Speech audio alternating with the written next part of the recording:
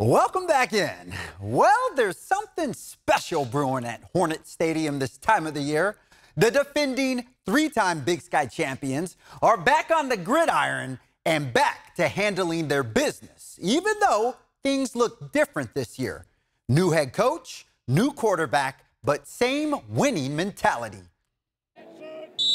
Let's go! We're excited. We've been working really hard for this first practice because we trained all off season and, and, you spend all summer here in Sacramento with a bunch of guys.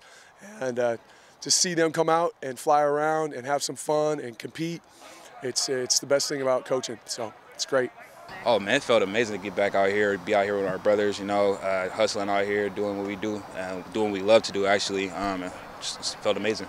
I've always been mature, but now it's like kind of like a father shit, bro. I got to take care of the guys, being an older guy now. So, like, yeah, being more mature. Uh, I feel great. Uh, been having a lot of fun with the guys out there. Uh, everybody's happy to be out here, happy to uh, just be able to practice and, and get going. Day one, it was a really great day, so just excited to be out here. Man, we coming for y'all, man. We coming out here to play, man. Coming, coming to win, coming to play, man.